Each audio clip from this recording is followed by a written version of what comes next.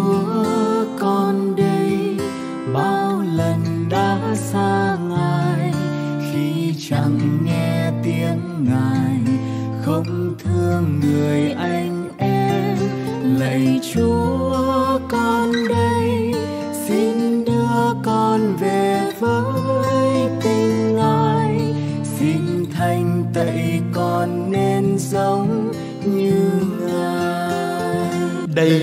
đài phát thanh Lòng Chúa Thương Xót Được phát trực tiếp từ tiểu bang Arkansas, Hoa Kỳ Kính chào quý thính giả Và xin Chúa chúc lành cho quý thính giả Kính mời quý thính giả nghe chia sẻ lời Chúa của Linh Mục Peter Lê Thanh Quang và audio sách đạo. đây tình yêu đơn sơ ở bên con mãi chúa ơi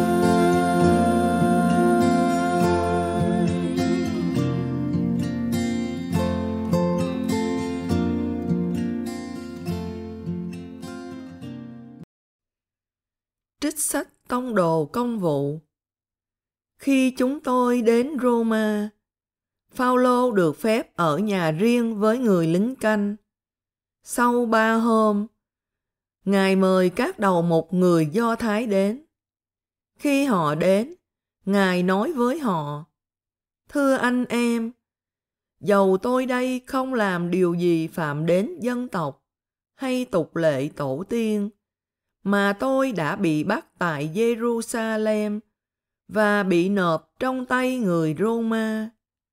Khi đã điều tra, họ muốn thả tôi vì tôi không có tội gì đáng chết. Nhưng người Do Thái chống lại, nên tôi buộc lòng phải nại đến hoàng đế. Nhưng không phải là tôi có gì kiện cáo dân tôi. Do đó tôi đã xin gặp anh em và nói chuyện. Chính vì niềm hy vọng của Israel mà tôi phải mang xiềng xích này. Suốt hai năm, Ngài trú tại ngôi nhà đã thuê, tiếp nhận tất cả những ai đến gặp Ngài. Ngài rao giảng nước Thiên Chúa và dạy dỗ những điều về Chúa Giêsu Kitô một cách giản dị không có ai ngăn cấm. Đó là lời Chúa. Thanh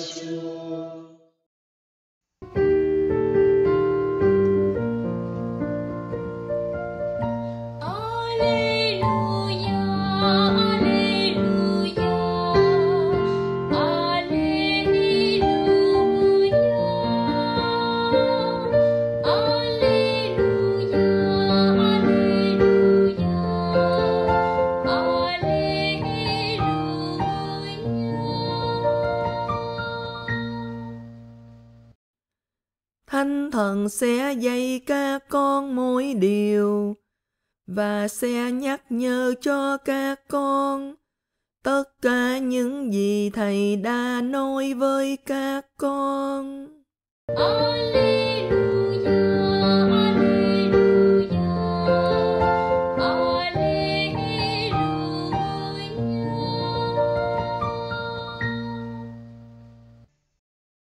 Chúa ở cùng anh chị em. Tin mừng Chúa Giêsu Kitô theo Thánh Gioan. Lạy Chúa, vinh danh Chúa. Khi ấy, Phêrô quay lại thấy môn đệ Chúa Giêsu yêu mến theo sau, cũng là người nằm sát ngực Chúa trong bữa ăn tối và hỏi: "Thưa thầy, ai là người sẽ nộp thầy?" Vậy khi thấy môn đệ đó, Phêrô hỏi Chúa Giêsu rằng: "Còn người này thì sao?" Chúa Giêsu đáp: "Nếu thầy muốn nó cứ ở lại mãi cho tới khi thầy đến thì việc gì đến con? Phần con cứ theo thầy." Vì thế, có tiếng đồn trong anh em là môn đệ này sẽ không chết. Nhưng Chúa Giêsu không nói với Phêrô nó sẽ không chết, mà người chỉ nói nếu thầy muốn nó cứ ở lại mãi cho đến khi thầy đến thì việc gì đến con? chính môn đệ này làm chứng về những việc đó và đã viết ra và chúng tôi biết lời chứng của người ấy xác thực. Còn nhiều việc khác Chúa Giêsu đã làm, nếu chép lại từng việc một thì tôi thiết tưởng cả thế giới cũng không thể chứa hết các sách viết ra. Đó là lời Chúa. Lạy Chúa Kitô, ngợi khen Chúa. Kính thưa quý bạn chị em, hôm nay là ngày thứ bảy của tuần thứ bảy Phục sinh. Để rồi ngày mai là Chủ nhật lễ hiện xuống là kết thúc mùa Phục sinh. Chúng ta nghe hai bài kết thúc. Bài Phúc âm chúng ta vừa nghe là kết thúc Phúc âm Thánh Doan và bài đọc một là kết thúc phần tông đồ công vụ với việc Phaolô ở tù tại Roma để chờ ngày ra tòa, làm chứng cho Chúa tại Roma. Và qua bài phúc âm này là sau khi Phêrô tuyên xưng cái lòng yêu mến của mình dành trọn vẹn cho Chúa, con có yêu mến Thầy hơn những người này không? Thì Phêrô đã tuyên xưng con yêu mến Thầy và Chúa đã giao cái trách nhiệm. Chăn dắt đoàn chiên của Chúa tất cả những mục tử lẫn cả những con chiên Chúa đều giao phó cho cái quyền lãnh đạo của Phêrô. Và những người kế vị thánh Phêrô là Đức Giáo Hoàng tại Roma để Đức Giáo Hoàng cũng như Phêrô đã chăm sóc các tông đồ, chăm sóc những mục tử là các giám mục, các linh mục và đoàn chiên của Chúa trên toàn thế giới. Và Chúa đã báo trước là Phêrô sẽ chết cách nào để tôn vinh Chúa.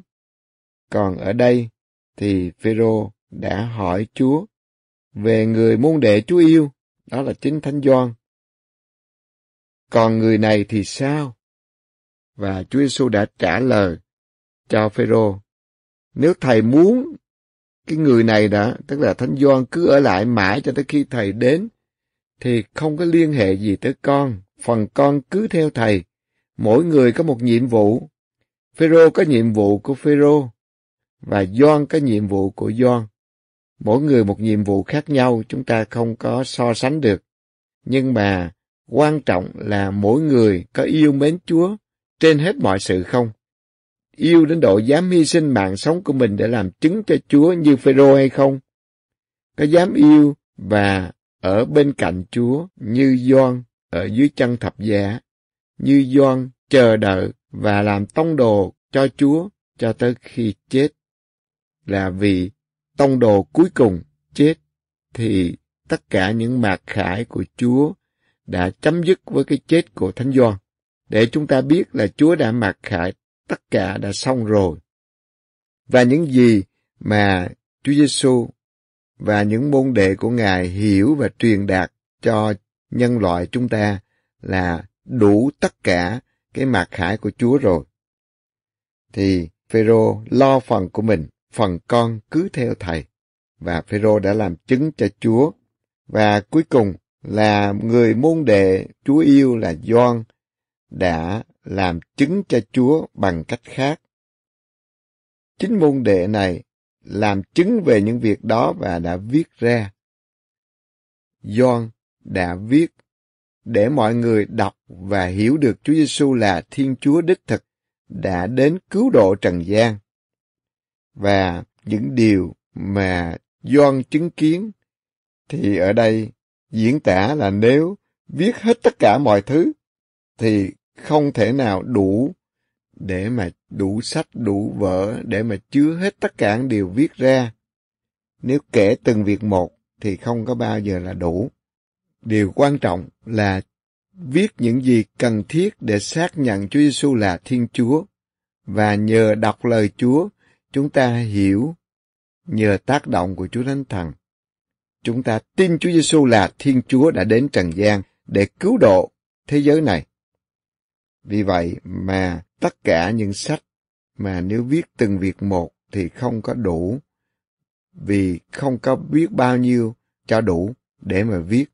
Và thế giới của ngày xưa thì việc mà có giấy, có mực viết rất là khó và người ta không có phải làm những cái cuốn sách có thể đính kết lại với nhau như bây giờ một cách dễ dàng cả mấy ngàn trang sách.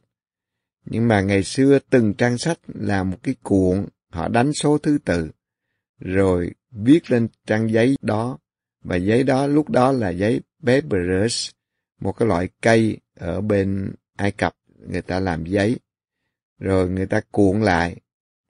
Cho nên mỗi trang là một cái cuộn, thì dĩ nhiên là tốn rất là nhiều chỗ để giữ thứ tự các trang sách này.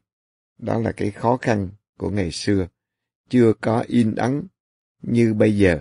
Chúng ta có thể in hàng loạt được. Chúng ta có thể có máy computer để giữ những tài liệu được.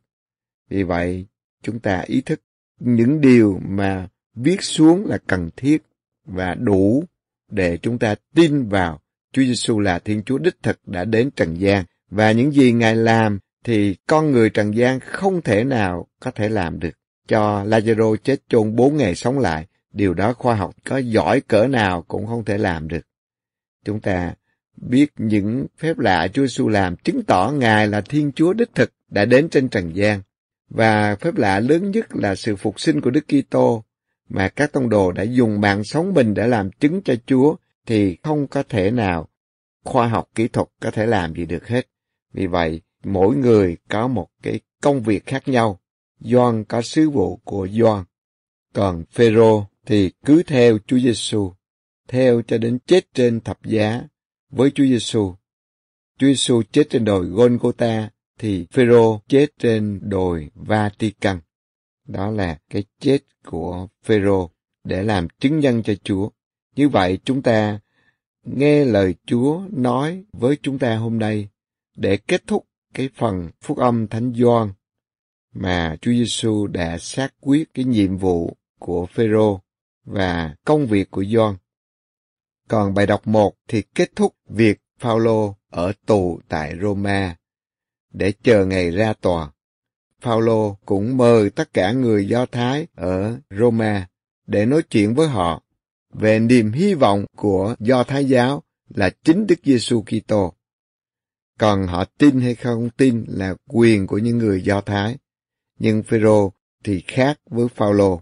Phaolô giỏi về kinh thánh và là học trò nổi tiếng của thầy giáo nổi tiếng ở Jerusalem trước đó là Gamaliel và Phaolô hiểu rõ về cựu ước để dẫn chứng cho những người Do Thái. Và chúng ta không thấy là Phaolô đã lập cái cộng đoàn Do Thái lúc nào để Phaolô có một cái thư viết cho họ, thư gửi tín hữu Roma. Nhưng mà thời gian ở tù hai năm, Ngài tự do rao giảng, chắc chắn là có nhiều người tin vào Phaolô và đã được Phaolô rửa tội. Phaolô đã dùng cái thời kỳ ở tù này, nhưng mà được thả lỏng với tên lính canh, để ở đó Phaolô làm chứng nhân cho Chúa và xây dựng cái cộng đoàn ở tại Roma này. Như vậy, Phaolô làm chứng nhân cho Chúa trong cái cảnh tù đầy, trong lúc khó khăn, phải mang xiềng xích vì niềm hy vọng của Do Thái giáo là chính Đức Giêsu Kitô. Tất cả được diễn tả để đưa chúng ta hiểu được dù có bị ngăn cấm, dù có khó khăn, các tông đồ của Chúa, đặc biệt là Phaolô, vẫn tiếp tục mạnh dạn làm chứng cho Chúa. Và ở đây, Ngài ở hai năm, trong khi đó ở Epheso chỉ có 18 tháng thôi, và cũng đã lập cái cộng đoàn Epheso. Như vậy chúng ta biết, dù bao nhiêu cái khó khăn trong đời sống, dù tù đầy, thì các tông đồ vẫn luôn luôn làm chứng cho Chúa bằng đủ cách cho tới khi làm chứng bằng chính mạng sống của mình, chứ không phải chỉ bằng lời nói mà thôi. Và điều đó làm cho ngày hôm nay chúng ta không thể nói ngược lại được là Chúa Giêsu và các tông đồ sắp đặt một cái chính sách à, rồi những cái tuyên truyền sai lầm để lừa đảo thiên hạ là Chúa Giêsu sống lại. Điều đó không thể nào có được bởi vì tất cả các tông đồ đều sẵn sàng làm chứng cho sự phục sinh của Đức Kitô bằng chính mạng sống của mình, thì không ai dạy gì làm chứng cho một sự giả dối bằng chính mạng sống của mình. Và cũng chẳng có ai bỏ tiền bạc ra để cho các ngài được giàu sang phú quý gì ở trần gian hết, mà đây là tù đầy, là đau khổ, là cái chết, nhưng không làm các ngài sợ hãi. Phêrô cũng tử đạo trên đồi Vatican. Phaolô cũng bị chém đầu ở ngoại thành Roma. Và ngày nay chúng ta đến Roma thì chúng ta đến viếng đền thờ Thánh Phaolô ngoại thành. Ngày xưa là ngoại thành, nhưng ngày nay là trong thành phố Roma. Và tại nơi đó chúng ta cũng thấy được cái xích Phaolô vẫn còn treo ở đó. Rồi tới mộ Thánh Phêrô ở tại Vatican, trong đền thờ Thánh Phêrô để chúng ta kính viếng như các giám mục cứ năm năm đi kính viếng các đền thờ Thánh Phêrô và Phaolô ngoại thành để xác nhận cái sự hiệp thông với hội thánh mà mình vẫn luôn luôn trung thành để hiệp thông với các tông đồ của Chúa, đặc biệt là với Phêrô và Phaolô. Và như vậy, chúng ta tin vào quyền năng của Thánh Thần tình yêu của Chúa hướng dẫn hội thánh, dù các ngài có phải chết cách này hay cách kia. Nhưng tất cả những gì mà Chúa Thần muốn viết xuống thì đã viết xong rồi. Để những mạc khải của Chúa không bị mai một, nhưng đã được một truyền thống của hội thánh sống cái mạc khải đó. Và rồi Luca đã viết xuống.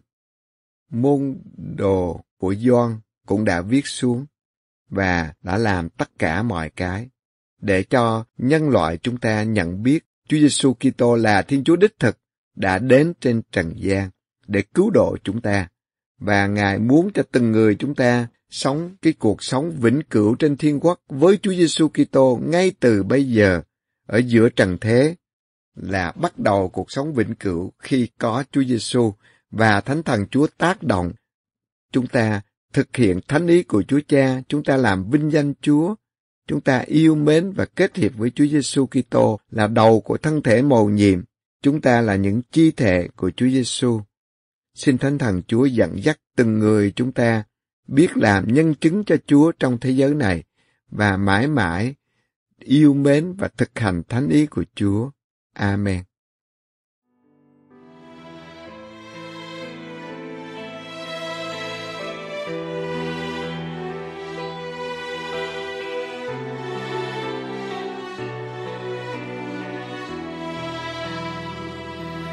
lạy chúa, lòng thương xót chúa vô sao con mãi hững hờ? Chúa vẫn đợi chờ con chờ con trở về với chúa. Chờ con sạch hết lỗi lầm, xin cho con một trái tim nồng ấm. Đừng thờ ơ với mọi người xung quanh. Hãy đến với lòng thương xót Chúa để được Chúa thứ tha lỗi lầm. Dù tội con có đỏ như son, Chúa vẫn tha khi con cầu khấn. Hãy đến với lòng thương xót Chúa, để được Chúa hối an vô về. Dòng đời con bao nỗi chân chuyên kính thác nơi ngài, hồn con mãi bình yên lạy chúa, lòng thương xót chúa vô bờ. Sao con mãi hững hờ? Chúa vẫn đợi chờ con chờ con trở về với chúa.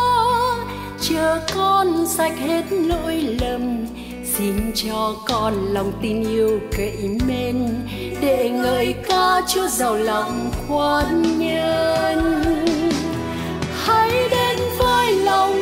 xót Chúa để được Chúa thứ tha lỗi lần dù tội con có đỏ như son, Chúa vẫn tha khi con cầu khấn. Hãy đến với lòng thương xót Chúa, để được Chúa ôi an vô về. Dòng đời con bao nỗi chuyên chuyên tin thác nơi ngài hồn con mãi bình.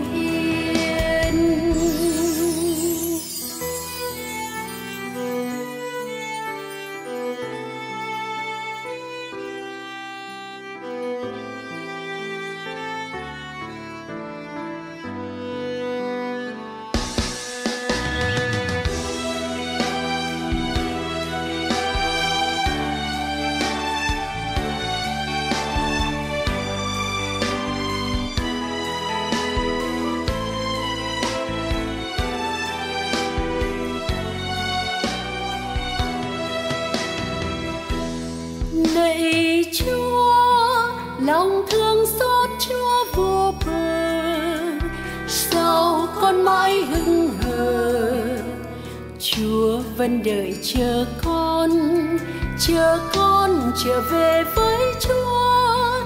Chờ con sạch hết lỗi lầm, xin cho con một trái tim nồng ấm.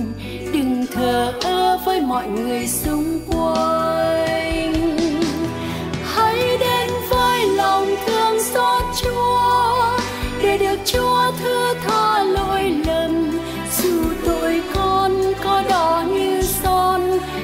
Vẫn tha khi con cầu khấn. Hãy đến với lòng thương xót Chúa, để được Chúa uy an vô về dòng đời con bao nỗi chân chuyên, tin thác nơi ngài hồn con mãi bình yên. Hãy đến với lòng thương xót chúa, để được chúa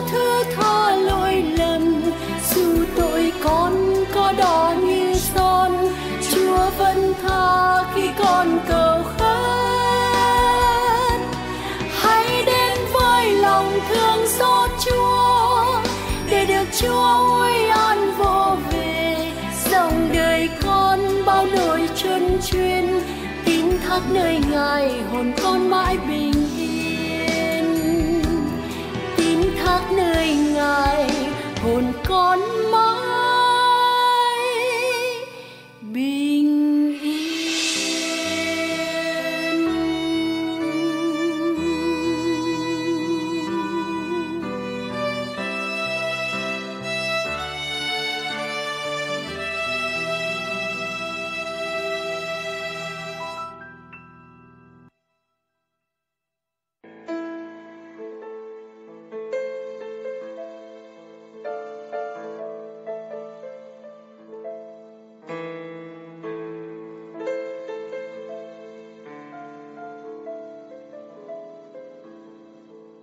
Thưa quý thính giả, hôm nay ngày 18 tháng 5, lễ Thánh Gioan thứ nhất, Giáo hoàng Từ Đạo.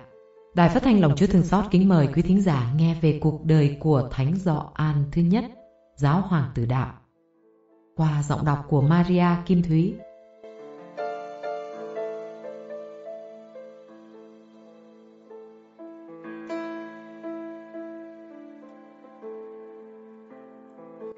Thánh Gioan sinh tại Thusia.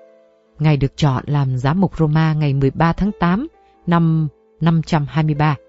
Sách sử không kể lại cho chúng ta điều gì về thời thơ ấu của thánh nhân. Chỉ cho chúng ta biết đời sống Ngài từ khi lên ngôi giáo hoàng, Ngài đã chọn khẩu hiệu tất cả vì danh Chúa. Và suốt đời Ngài thực hiện đúng theo lý tưởng đó.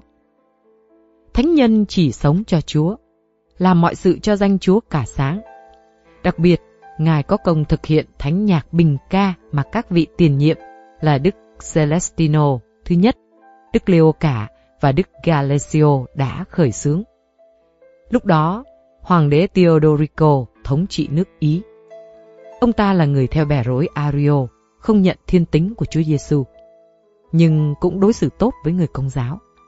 Trong khi đó, năm 624, vua Justino thứ nhất bên Tiểu Á muốn hiệp nhất giáo hội, cũng như nhằm mục đích chính trị đã đàn áp nhóm theo lạc giáo Ario. Vua Theodorico đã tức giận bắt Đức Giáo Hoàng Gioan dẫn đầu phái đoàn đi thương thuyết. Sau nhiều lần phản đối, Ngài đã chấp nhận lên đường. Đây là lần đầu tiên có một vị giáo hoàng rời khỏi nước Ý. vua Justino và toàn dân Constantinople hân hoan vui mừng đón tiếp Đức Giáo Hoàng. Ngài đã cử hành lễ phục sinh tại thánh đường thánh nữ Sophia và phong vương cho vua Justino. Khi thánh nhân đến, toàn dân và vua Justino hân hoan đón tiếp và mời cử hành thánh lễ phục sinh tại thánh đường thánh nữ Sophia. Mặc dù thánh nhân phải tuân lệnh hoàng đế Theodorio đến gặp vua Justino bên Tiểu Á, nhưng ngài không thể thỏa mãn ý muốn của hoàng đế được. Với cương vị một giáo hoàng, phải bảo vệ đức tin chân chính của hội thánh. Làm sao ngài có thể đứng ra ngăn cản vua Justino chống lại lạc giáo Ario, những kẻ chối bỏ thiên tính của Đức Kitô, vì thà chịu khổ hình còn hơn phản bội sứ mệnh Chúa Phú Giao. Ngài quyết noi gương các thánh tông đồ, đặc biệt thánh Phaolô, chấp nhận tù đầy, đòn vọt, chết chóc vì Chúa, để làm sáng danh Chúa. Đó là đường lối mà Đức Kitô cùng các thánh của người đã đi. Người gọi nó là con đường hẹp nhưng lại dẫn thẳng đến sự sống. Và người đã dạy rằng, nếu muốn đến với người, ta phải bước theo con đường Ngài đã đi. Vì không lẽ đang khi con Thiên Chúa đi con đường nhục nhã thì con cái loài người lại tìm con đường vinh hoa. Thế nên khi trở lại Roma, Ngài bị nhà vua cho là đã hành động phản nghịch với mình. Ông tính xử tử Ngài nhưng lại sợ dân chúng nổi loạn nên bắt giam ngài tại Ravenna. Tại đây, Đức Giáo Hoàng đã từ trần ngày 18 tháng 5 năm 526. Ngày 27 tháng 5 năm 530, xác ngài được rời về Roma.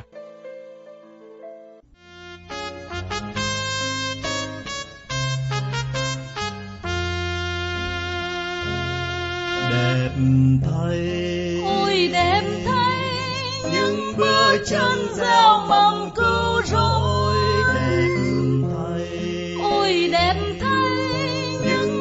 chân rau khắp nẻo đường.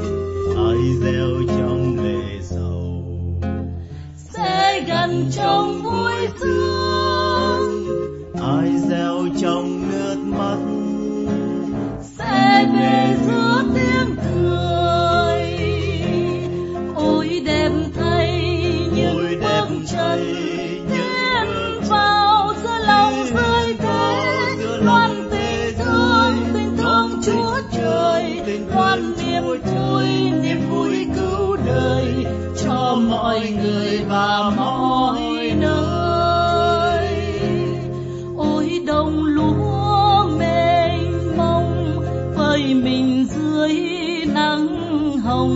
lúa đã trổ bông dâng ngàn sức sống.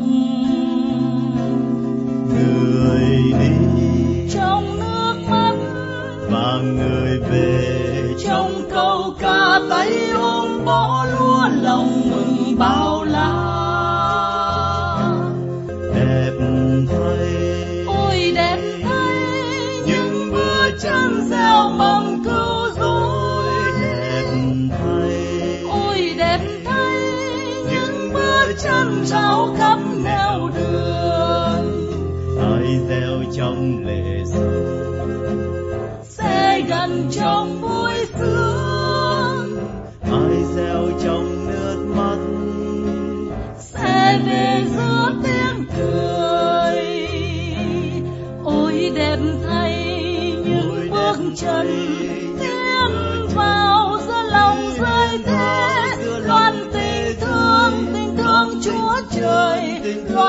niềm vui niềm vui cứu đời cho mọi người và mọi nơi.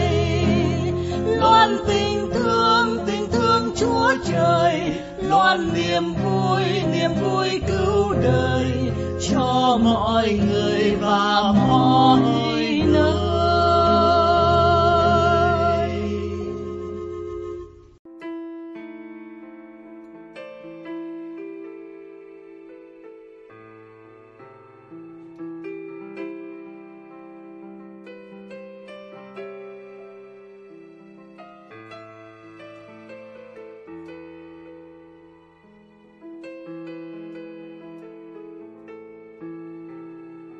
Xin thông báo, Đài Phát thanh Lòng Chúa Thương Xót đã thực hiện xong audio truyện Đức Mẹ, các thánh nghe trên máy radio MP3. anh chị em có thể dùng máy này làm quà tặng cho người thân, bạn bè trong các dịp lễ, Tết. Muốn order máy, xin gọi cho chị Lan Chi số 405 973 6348 hoặc email radio lòng chúa thương xót at gmail.com.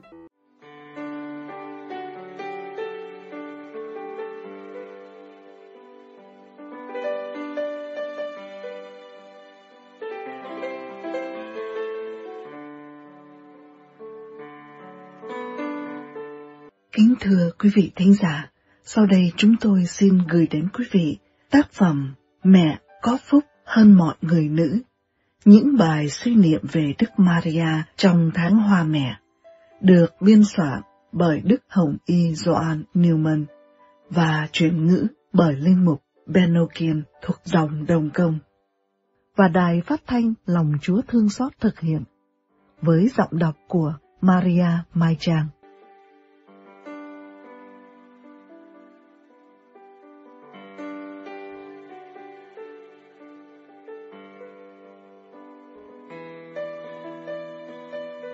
Ngày 18 tháng 5, Đức Maria là đấng suốt mến lạ lùng. Người được gọi là nhiệt tâm là người tận tình. Chúng ta hiểu điều đó nói về một người vợ hay người con gái tận tình. Đó là một người mà tư tưởng hướng về người mình yêu, tha thiết và dịu dàng. Người nữ theo đuổi người nam bằng đôi mắt người nữ luôn tìm dịp giúp đỡ người nam và những công việc của người nữ, dù rất tầm thường đối với họ. Cũng chứng tỏ hai người thân thiết và gần gũi nhau. Nhất là nếu đối tượng của tình yêu người nữ yếu kém, hay gặp đau khổ, hay gần như tàn lụi, người nữ vẫn sống trong cuộc sống của người nam cách mạnh mẽ hơn và không biết gì khác ngoài người nam lòng sốt mến đối với Chúa, quên mình vì yêu Chúa, được diễn tả trong thơ thánh Phaolô khi Ngài nói: Tôi không muốn biết điều gì khác ngoài Chúa Giêsu Kitô và Chúa chịu đóng đinh vào thập giá. Ngài còn nói: Tôi sống nhưng không phải là tôi, mà là Đức Kitô sống trong tôi. Hiện nay tôi sống trong xác phàm là sống trong niềm tin vào con Thiên Chúa, đấng đã yêu mến tôi và hiến mạng sống vì tôi. Tình mến của Thánh Phaolô đối với Chúa chúng ta có cao cả mấy cũng không thể sánh với tình mến của Đức Mẹ. Vì mẹ là mẹ Chúa. Mẹ đã chiếm hữu Chúa và tất cả những đau khổ của Chúa đều diễn ra trước mắt mẹ Mẹ đã sống mật thiết với Chúa trong 30 năm và sự thánh thiện đặc biệt của mẹ làm cho mẹ gần gũi Chúa trong tinh thần một cách khôn tả. Rồi khi Chúa bị nhạo cười, tạt và đánh đòn, đóng đinh vào thập giá. Mẹ cảm thấy một cách thấm thía các lời sỉ nhục, những nỗi thống khổ Chúa phải chịu. Tất cả đều dồn vào chính con người của mẹ. Mẹ như lâm vào cơn hấp hối, mỗi khi Chúa chịu khổ nhục. Điều đó được gọi là lòng thương cảm của mẹ hay sự đau khổ của mẹ cùng với Chúa con. Chính vì thế mà mẹ trở thành đấng sốt mến lạ lùng.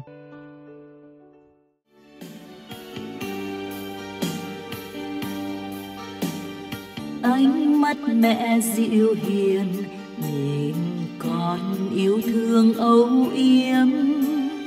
Ánh mắt mang nỗi niềm, vì trần thế đắm trong tội khiên lời mẹ nhắn khi xưa, hay lần chuối mân côi, tôn sùng mẫu tâm sống kế thiệp cùng mẹ suốt đời. Mẹ nguồn ủi an, nhưng lúc con gặp đau buồn, mẹ là hào quang, xua tan đời con tối tăm. Xin mẹ phù giúp cho con một lòng yêu mến mến chúa yêu người, thực hành những lời mẹ khuyên. Mẹ nguồn ủi an, nhưng lúc con gặp đau buồn, mẹ là hào quang, xua tan đời con tối tăm. Xin mẹ phù giúp cho con một lòng yêu mến.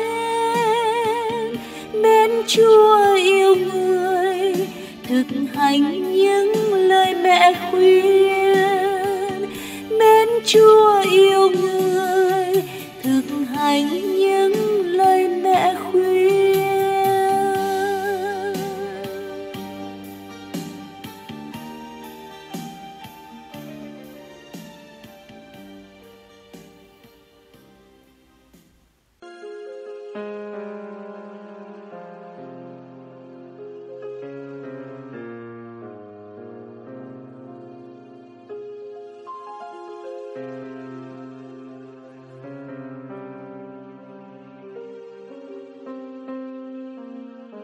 Kính thưa quý thính giả, trong chương trình đọc truyện hôm nay, chúng tôi xin mời quý vị nghe tiếp tác phẩm Thánh Gioan Marcias của tác giả Mary Fabian Quindes do Sir Teresa Thơ Nguyễn chuyển ngữ và Đài Phát thanh Lòng Chúa Thương Xót thực hiện.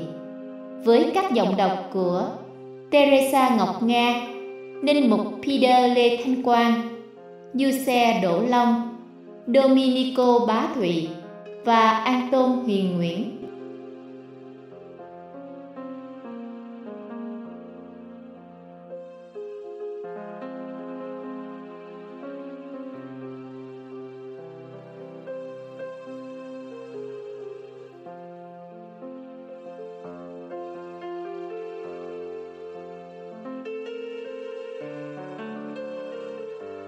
Doan mỉm cười Rõ ràng là cha Gonzales muốn hỏi thầy về việc này. Thầy chậm rãi nói. Con biết điều cha muốn biết. Con sẽ nói cho cha. Không có gì dài dòng cả.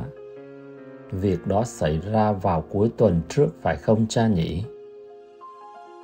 Cha Gonzales hài lòng. Ngài chuyển lại cách ngồi để nghe người bạn tốt lành hoàn toàn kính phục một tâm hồn đơn sơ như trẻ thơ của thầy Gioan. Thầy diễn tả tuyệt vời bằng ngôn ngữ rất đơn sơ. Thưa cha, vào nửa đêm khi cha và các tu sĩ khác đang nguyện kinh ban mai ở nhà thờ, lúc đó con rất mong được tới nhà nguyện, nhưng không được, tuy không ở xa lắm. Cha Gonzales gật đầu Lúc đó là lúc con phải nghỉ ngơi. Nhưng thôi, tiếp tục câu chuyện đi. Thầy nói. Thực thì con đã trong nhà nguyện và cầu nguyện trước tượng Đức Mẹ Mân Côi. Thần lình có tiếng nứt rạn sàn nhà và các bức tường. Vài bình bông bị đổ trước bàn thờ và ngay lúc đó. Cha Gonzales thêm.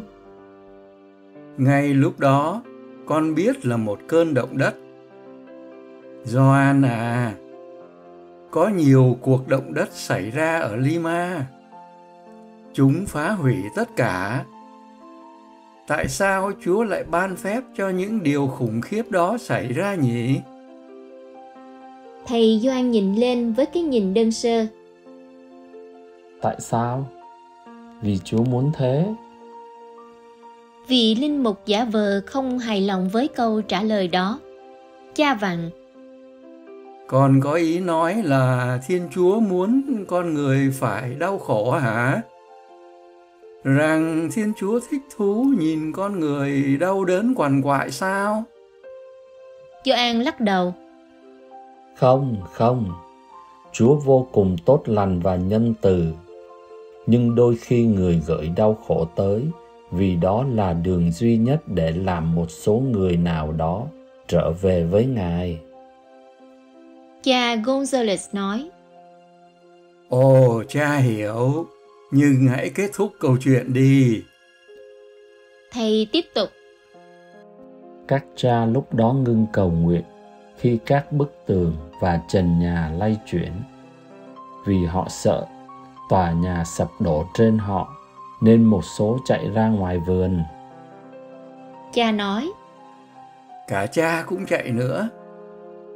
thầy vui vẻ. Vâng, cả chính con cũng định chạy, nhưng thình lình con nghe một tiếng nói bảo con ở lại chỗ con đang đứng. Và lời nói đó phát ra từ bức tượng Đức Mẹ. Vị linh mục già hỏi, Bức tượng nói gì? thầy tiếp, Con nghe Đức Mẹ nói, Gioan, người bạn nhỏ của ta, tại sao con chạy? Con không thấy mẹ ở đây để canh giữ cho con sao? cha Gonzales dựa người ra phía trước. Rồi Đức Mẹ nói gì thêm? Thầy mỉm cười, Mẹ không nói gì nữa cha. Nhưng khi con nhìn lên bức tượng, con thấy tượng chiếu sáng như mặt trời. Con quên hẳn đi chuyện động đất và ở lại tại chỗ. Có cái gì đó làm con nghĩ con chẳng sợ gì động đất nữa. vì linh mục yên lặng một lúc, chìm đắm trong sự thán phục việc lạ mà ngài cũng có liên quan tới. Rồi bất chợt ngài đứng dậy nói, Có lẽ cha phải đi ngay bây giờ. Cảm ơn thầy vì đã kể chuyện cho cha biết. Xin nhớ cầu nguyện cho cha mỗi ngày nhé. thầy tu sĩ trả lời, Con sẽ luôn cầu nguyện cho cha. Thực là một đặc ân.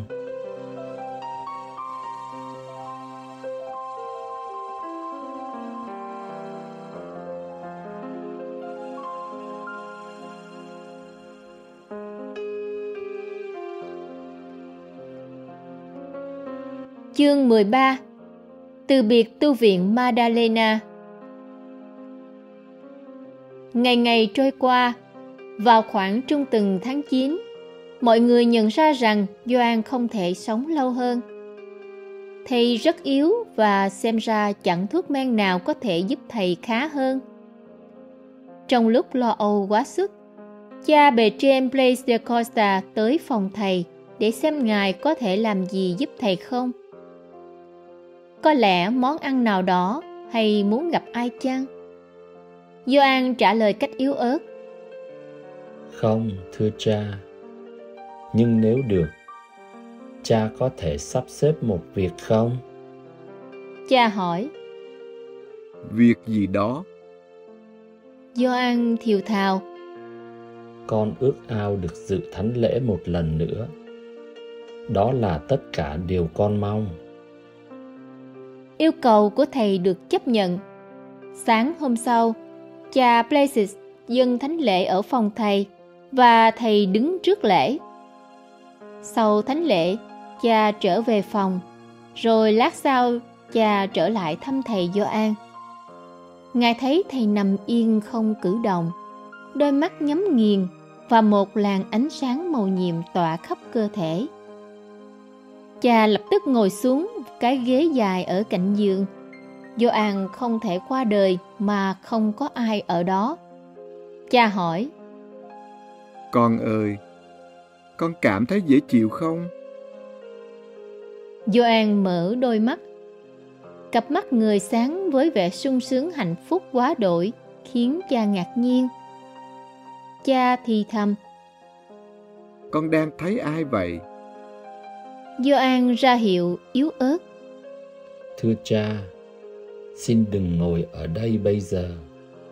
Trong phòng đầy các vị khách, Cha bề trên liếc nhìn quanh phòng. Phòng không có ai cả, trừ cha và người đang hấp hối. Nhưng cha không thể nghi ngờ lời thầy. Cha liền đứng dậy và hỏi. Ai đang ở trong phòng này? Gioan cố lấy hết sức. Chúa đang ở đây. Đức Mẹ, và các thánh nữa. Cha vặn Các thánh nào vậy? Thầy chỉ tay vào không gian. Thánh Gioan Tông Đồ, Thánh Đa Minh, Thánh Magdalena, các thánh Phêrô và Phaolô, Thánh Vicente Ferri, Thánh Catarina Siena, Thánh Luz Berlin. Cha bề trên vặn thêm. Vậy vị nào vừa mới hiện diện thêm? Với hết khả năng nhận thức, Gioan trả lời rằng còn có một đạo binh các thánh trên trời đang quay quanh giường thầy. Vô số các thiên thần và các thánh và thầy không biết tên. Tất cả đang cầu nguyện cho thầy. Khuyến khích thầy không sợ chết. Thầy nói, Tất cả các ngài đang chờ đợi đem con lên thiên đàng. Suốt ngày, tu viện tràn đầy người tới khi nghe tin thầy Gioan hấp hối. Mọi người đều tụ hỏi, Phải chăng đúng là thầy Gioan đang chuẩn bị vào thiên đàng? Cuối cùng, hoàng gia Viceroy ở Peru tới đã tỏ lòng kính mến. Đó là ông Don Antonio de Toledo. Ông nói với cha bề trên, Tôi muốn xin thầy Gioan cầu nguyện cho tôi. nhưng rồi ông ngồi ngần một lúc. Thưa cha bề trên, có thể cuộc thăm viếng của tôi làm khó xử cho thầy Gioan. Thầy chẳng bao giờ thích một lời khen ngợi của ai hết. Hơn nữa, lời đó lại phát xuất từ một người, một con người ở địa vị cao về chính trị và xã hội. Lời tiên đoán của thầy Gioan là ngài sẽ chết đã được loan đi khắp nơi và người ta muốn đến gần để gặp thầy trên giường chết. Một số người mang sẵn cả cái kéo để nếu có thể họ sẽ cắt áo thầy Gioan làm di tích thánh. Đoàn lũ đông người cả đàn ông, đàn bà, thanh niên, nam nữ khắp nơi đã tuôn tới cổng tu viện. Họ chen lấn nhau để được tới gần hơn. Trong số đó, có một người đàn bà đứng ở lối ra vào. Đó là bà Donna Antonia de Major, vợ của người thương gia Peter Ramirez. Khuôn mặt bà nhăn nhó sầu muộn. Thỉnh thoảng bà giơ cao đôi tay lên trời rồi hạ xuống. Một giọng nói vang lên. Có chuyện gì vậy, bà Antonia? Người đàn bà nhìn lên, một bóng người quen thuộc đang đứng bên cạnh. Đó là Gertrude de Cordines, vợ của Alonso Martin de Rolena, là người làm bánh nổi tiếng ở Lima. Nhận ra người thân thuộc, bà Antonia bật khóc. Con trai tôi, đứa con đáng thương. Giọng nói lại vang lên. Nó làm sao thế? Bị bệnh hả? Bà Gertrude lắc đầu, kể chuyện cho bà làm bánh nghe. Tuần trước, cậu bé 5 tuổi John Ramirez được đem tới tu viện Thánh Madalena để gặp thầy Joan Macias. Lúc đó, cậu bé xin được hôn đôi tay thầy, nhưng thầy Joan không muốn cậu bé hôn tay. Thầy nói, Tốt hơn nên để tôi hôn đôi tay cậu, bởi vì chẳng bao lâu cậu sẽ là một thiên thần trên trời. rồi bà Antonia nức nở. Chư chu ơi, tôi biết thầy Gioan có ơn nói tiên tri. Nếu những lời này có nghĩa là tôi sẽ bị mất đứa con duy nhất, làm sao tôi có thể chịu đựng được? Vợ người làm bánh im lặng, hiểu rõ điều mẹ cậu bé muốn nói. Họ đã chờ đợi lâu và cầu nguyện xin Chúa cho được một đứa con. Họ xin thầy Gioan cầu nguyện giúp và tin chắc rằng nhờ lời cầu của thầy mà Ramirez đã ra đời. Một lát sau bà nói, Tôi không lo âu. Nếu thực sự đó là ý Chúa, rằng Ngài sẽ đem nó về trời thì cứ đợi xem. Chẳng lẽ thầy Doan không đổi nỗi buồn thành niềm vui chăng? bà Antonia nức nở. nhưng thầy là cha đỡ đầu của đứa bé. Bà không nghĩ thầy sẽ chữa cho đứa bé như đã từng cứu giúp nhiều người đau ốm à? Rồi để an ủi người bạn lúc buồn phiền, Rachel chuyển sang chuyện khác. Bà nói đã lâu bà bị một cơn sốt rất nặng. Chỉ một món ăn duy nhất bà muốn ăn đó là trái mận. Nhưng bác sĩ lại cấm ăn. Hơn nữa, dịp đó không phải là mùa mận, nên chẳng có cách nào mà ăn mận. Trong khi đó, bà biết chắc chắn rằng mình sẽ chết, vì mỗi ngày bà trở nên yếu nhọc hơn. Và chồng bà rất lo lắng. Ông mời thầy Do An đến thăm bà. Khi thầy đến, thầy đem theo một cái giỏ lớn vì đang ở trên đường đi xin cho người nghèo. Sau một lúc trò chuyện, thầy nói đừng lo lắng và hứa sẽ cầu nguyện cho tôi được phục hồi. Khi thầy đi ra cửa, thầy lấy một cái hộp trong giỏ và nói Đây là món quà nhỏ cho bà. Khi tôi mở ra, Anthony này, bà có biết đó là cái gì không? Bà mẹ mỉm cười, mặc dù trái tim còn nặng trĩu. Mận hả? Rachel hân hoan. 15 trái mận. Không biết thầy kiếm mận ở đâu.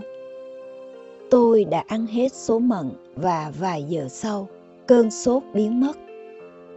Bà Antonia này, nếu thầy Doan quan tâm đến chuyện nhỏ như trái mận, thì huống gì sự sống đứa bé. Tôi chắc rằng thầy rất quan tâm đến đứa bé. Bà mẹ lưỡng lự gật đầu. Chắc chắn thế. Từng giờ qua đi, vô số người đến thăm viếng căn phòng nhỏ bé của thầy Gioan. Trong số đó có cha Francis Avendano, vị linh mục thường rầy la thầy Gioan vì những cuộc xuất thần của thầy. Lúc này cha đứng ở hành lang, ngay trước phòng bệnh nhân. Cha vặn vẹo đôi tay run rẩy. Thưa cha bề trên, con đã sai lầm thầy Gioan đúng là một vị thánh. Tại sao trước đây con không biết điều này nhỉ? Cha Bertrand Places đáp. Đúng vậy. Thầy Doan nói rằng cha là người duy nhất đã đối xử với thầy như thầy đáng xử như vậy. Thầy ấy cầu nguyện cho cha không ngừng. Cha Francis lau nước mắt con thường nghĩ rằng thầy ấy đền tội quá mức. Nào là ngủ trên nền nhà, trên bậc thang bàn thờ, ăn chay thường xuyên với bánh và nước lã. Ôi, con đã thường nói với thầy ấy như thế. Cha bề trên cầm lấy tay cha an ủi. Hãy đi và gặp thầy lập tức xem coi nếu thầy ấy còn giữ điều gì buồn bực với cha không. Cả hai vị tu sĩ đi vào và nhận ra thầy Gioan đang chịu đau đớn cực độ, nhưng vẫn nhận ra được các ngài. Thầy thở dồn dập. Thời giờ của con chưa hết. Thưa các cha, con mong ước giờ cuối cùng biết bao. Cha bề trên gật đầu Ngài biết thầy Gioan rất đau đớn. Hơn nữa vì thầy đã dâng mình trở nên của lễ thay cho các linh hồn. Hàng triệu người thờ ơ, lạnh nhạt được thầy nhận đền thay. Vì thế giờ hấp hối của thầy được kết hợp với Đức Kitô trên thập giá. Chỉ có các linh hồn ở thế giới bên kia được cứu thoát mới nhận ra được lòng nhân từ bác ái của người bạn ẩn kín này. Cha Francisco vẫn ở bên cạnh thầy. Cha cầu nguyện và khóc nức nở vì hối hận bởi nhiều lời không hay cha đã nói ra về thầy Gioan. Xế chiều, sự đau đớn tăng gấp bội đến nỗi thầy không thể nói được nữa.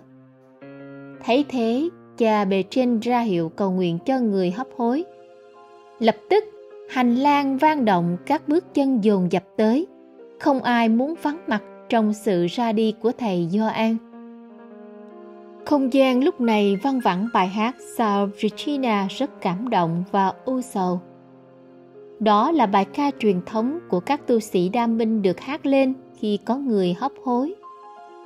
Thầy Gioan nở nụ cười nhẹ, đôi mắt chiếu sáng niềm vui thiên đàng và thầy quay về phía cha bề trên Places. Thưa cha, xin tha lỗi cho con những phiền toái con đã gây ra. Khi lên thiên đàng, con sẽ cố gắng đền bù tất cả. Cha bề trên không thể đáp lại. Cha vội quỳ xuống và cầm lấy tay thầy Gioan nhỏ nhẹ. Gioan, Gioan. Mọi người chung quanh đều quỳ gối và rơi lệ. Bên ngoài, rất đông người xếp hàng chờ đợi. Thinh linh, các chuông trên tu viện Thánh Madalena vang lên. Lúc đó là 7 giờ tối. Thầy Gioan chậm chạp rút bàn tay khỏi tay cha bề trên. Với cái thở nhẹ, thầy đặt chéo hai tay trước ngực. Đôi mắt nhắm lại và khuôn mặt chiếu vẻ rạng rỡ. Thầy nhỏ nhẹ.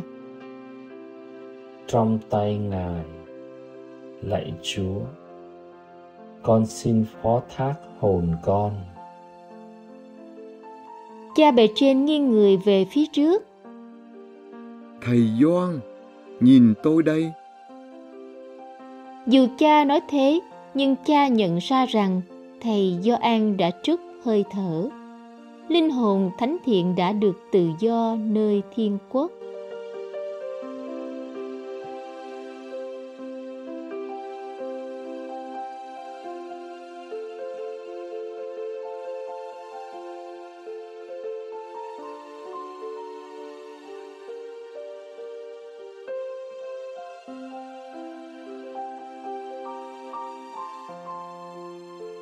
Chương 14 vì anh hùng Mỹ Châu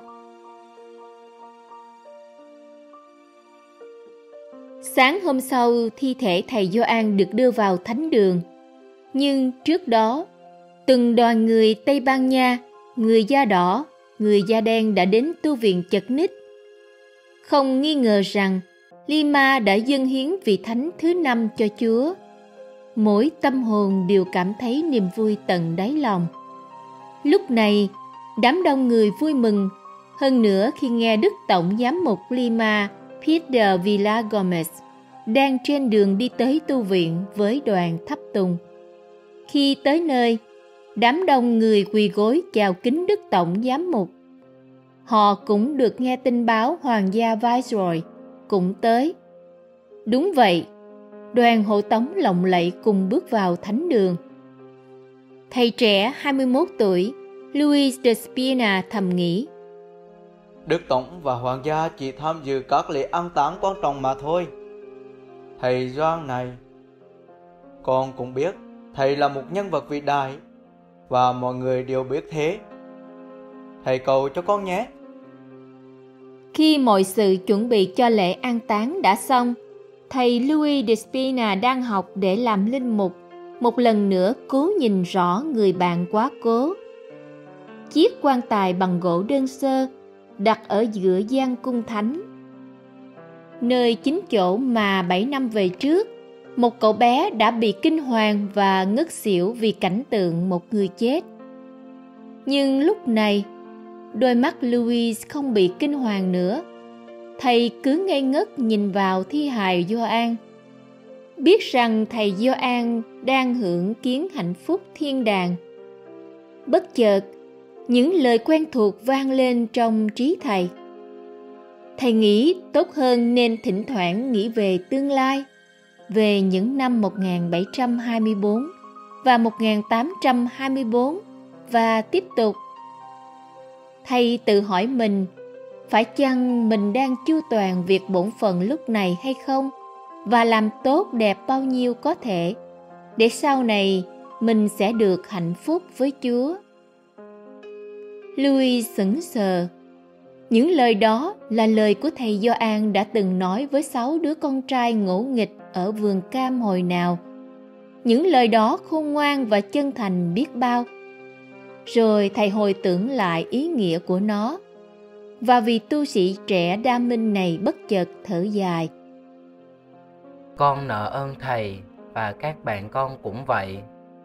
Thầy Gioan ơi, thầy có hài lòng rằng sao đứa con trai đó sắp được thụ phong linh mục chăng?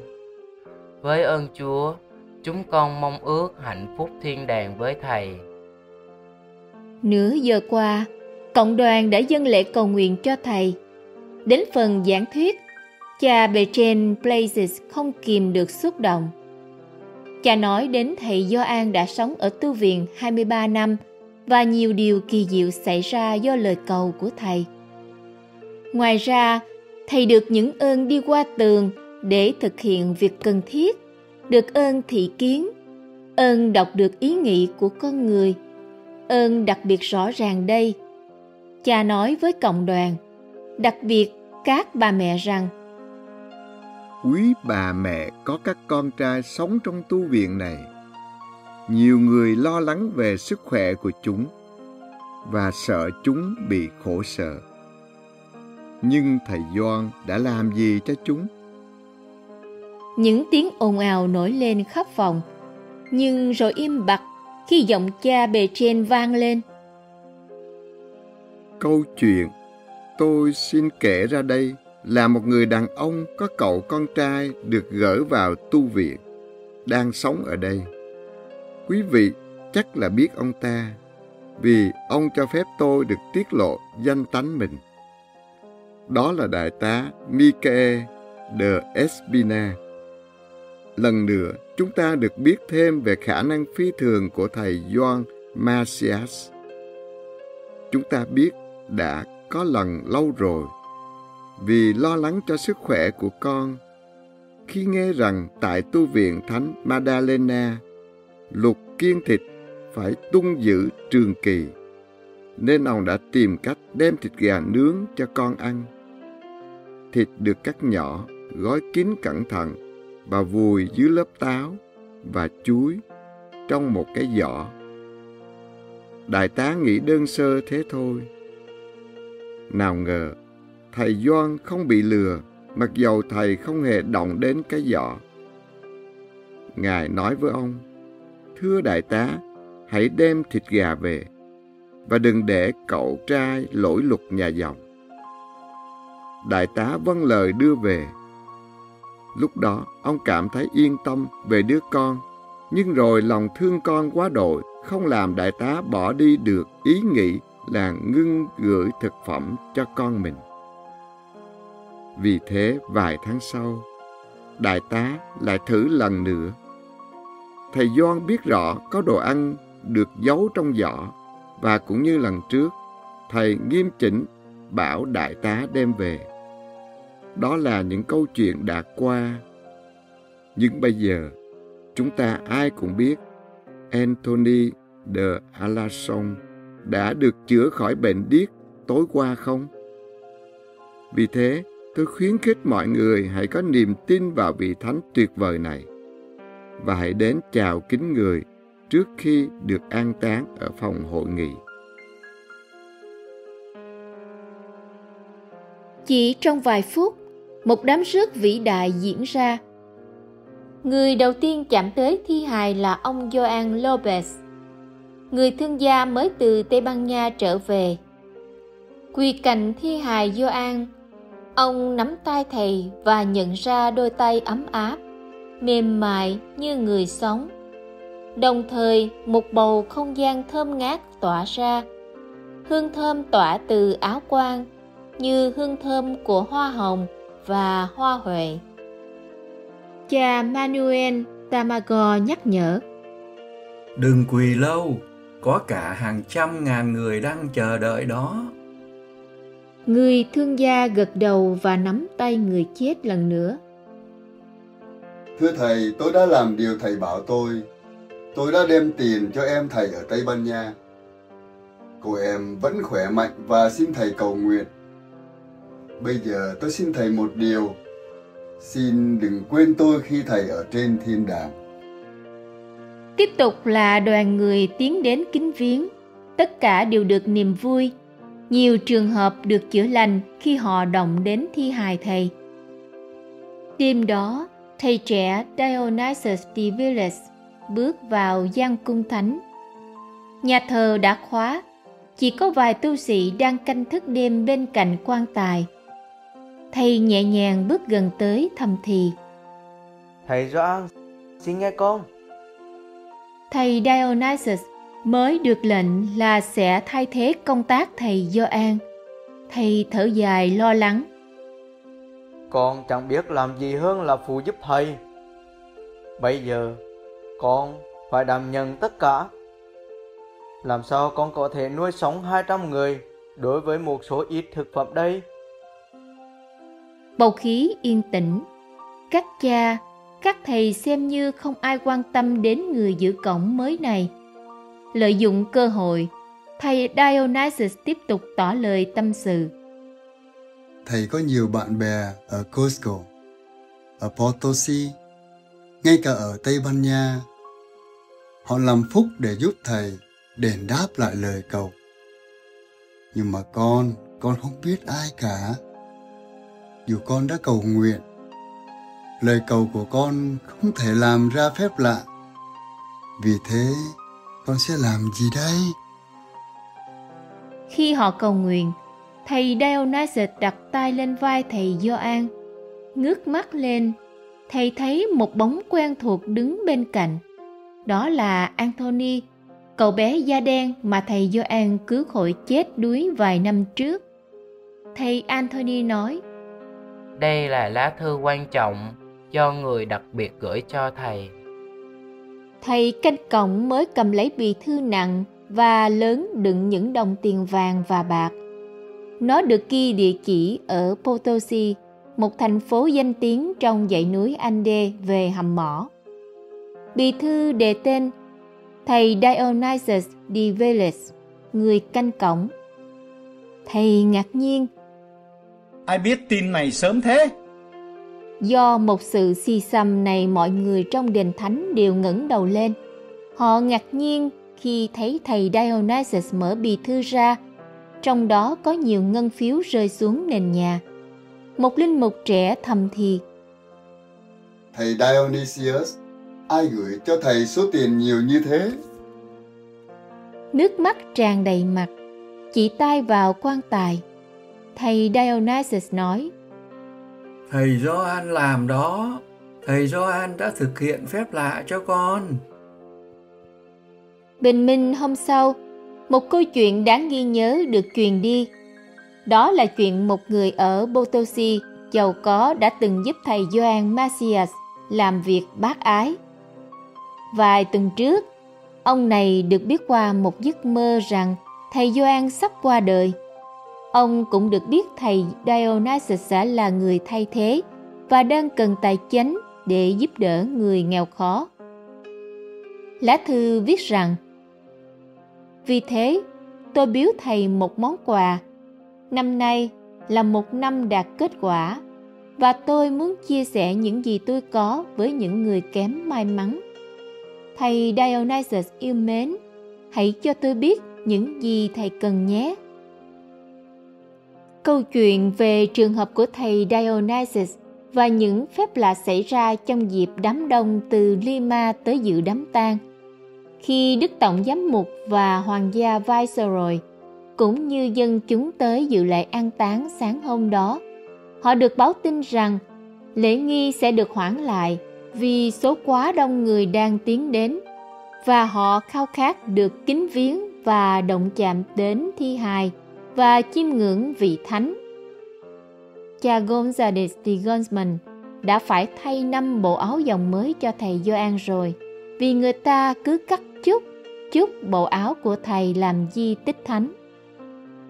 Sợ rằng thi thể của thầy Gioan sẽ bị thương tích vì sự chen lấn của đám đông, nên cha bề trên Places tuyên bố lễ an táng sẽ được cử hành ngày 21 tháng 9, ngày thứ ba sau 6 ngày thầy qua đời.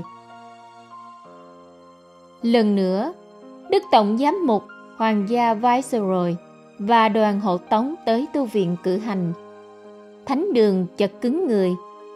Đột nhiên, một người đàn bà cất cao giọng. Thầy Gioan, xin cầu cho chúng con, hãy giúp chúng tôi kính mến thánh ý Chúa. Đó chính là bà Donna Antonina de Meja, vợ của ông Peter Ramirez, người làm bánh. Đã ba ngày qua, bà năn nỉ thầy Gioan ban cho một ơn huệ đặc biệt. Ơn này không liên hệ tới sức khỏe hay thành công trong việc kinh doanh hay bất cứ một ơn huệ nào, nhưng là một ơn huệ tinh thần. Bà xin ân phúc để chấp nhận sự khó khăn Chúa ban trong tương lai. Bà ước ao trở nên của lệ thay cho các tội nhân, cầu nguyện và chịu đau khổ cho những người không cầu nguyện cho chính mình. Bà thầm nghĩ, Tôi yếu đuối quá và nhát đảm khi nghĩ đến sự mất mát đứa trẻ. Thầy Do An ơi, Thầy có thể thay đổi tất cả. Hãy cho tôi chút tinh thần dũng cảm của Thầy để tôi không sợ thánh ý Chúa. Lúc này, cả cộng đoàn đông người cùng đứng lên chào kính thi hài thầy Gioan được đem từ gian cung thánh đến nơi an nghỉ cuối cùng ở hội trường của tu viện. Bà Donna Antonia cũng trỗi dậy, đôi mắt chiếu sáng. Trái tim bà tràn ngập niềm vui an bình. Hạnh phúc biết bao được sống để cứu rỗi các linh hồn và giúp đỡ tha nhân. Bà thì thầm. Tôi không sợ khổ đau nữa, ngay cả việc đứa con trai sẽ qua đời. Tôi chấp nhận ý Chúa bằng trọn trái tim tôi. Thầy Do An ơi, cảm ơn thầy nhiều lắm.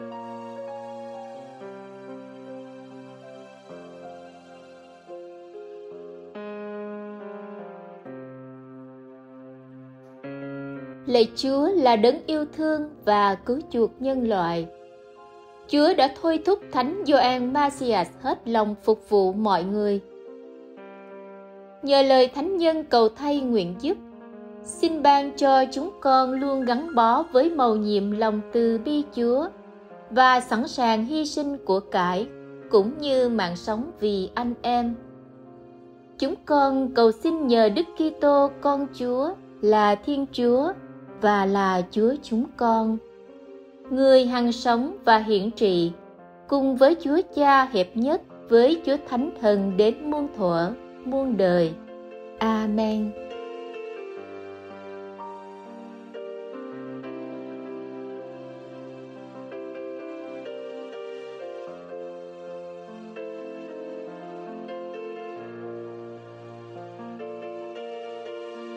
Quý thính giả vừa nghe phần cuối tác phẩm Thánh Gioan Masias.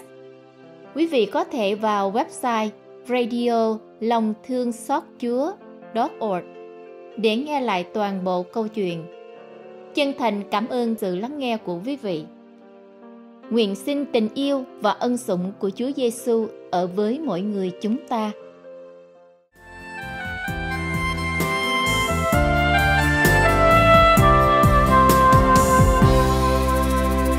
Chúa luôn ở bên. Ngài dìu con đi qua muôn nẻo đường. Tình Ngài yêu thương con mãi thiết tha, Dẫu còn thờ ơ. Vẫn bên cạnh con, Dù nhiều khi con vô tâm hững hờ, Tình Ngài yêu thương con không bên bờ, Ngóng trông từng giờ lối đường đời con. Dù hiểm nguy mây đen giăng kín trời, thì tình cha như trăng sao sáng người bước đi bình an. Nắng mưa trần gian, ngày cùng con lòng đong chung kiếp người. Dù khổ đau môi hân hoan tiếng cười, hát ca một đời.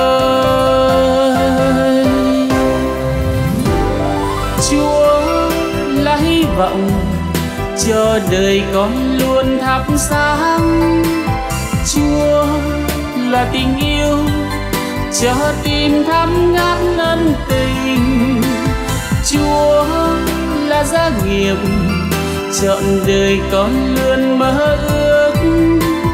Chúa là hạnh phúc, cả đời con luôn khát khao.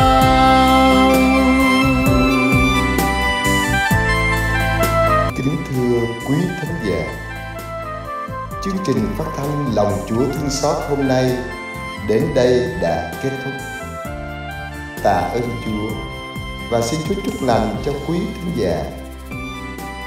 Xin Thánh Thần Chúa tác động để lời Chúa thấm nhập và đi vào hành động của mỗi người chúng ta, để mỗi ngày chúng ta đạt được hạnh phúc đời này và đời sau nhờ lời của hóa chúng ta.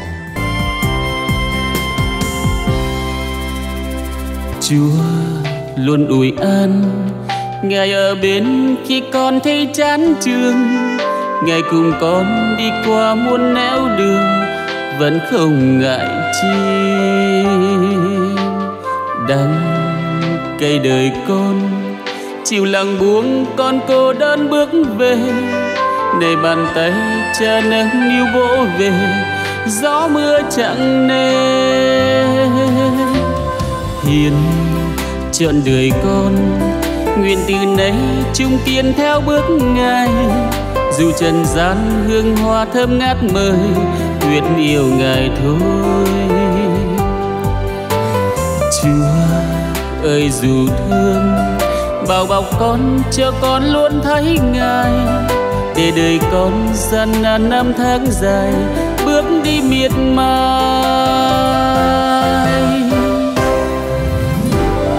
Chúa là hy vọng, cho đời con luôn thắp sáng. Chúa là tình yêu, cho tim thắm ngát ân tình. Chúa là gia nghiệp chọn đời con luôn mơ ước là hạnh phúc.